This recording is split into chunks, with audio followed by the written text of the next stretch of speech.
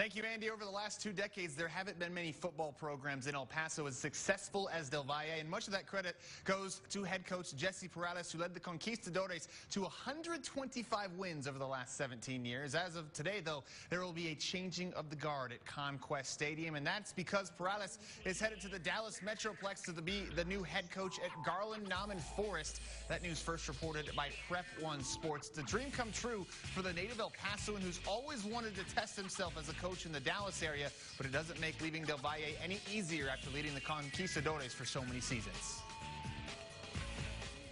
Time waits for no man. I didn't want to grow to 70 years old and look back and say, I wish I would have, I wish I could have, or I should have.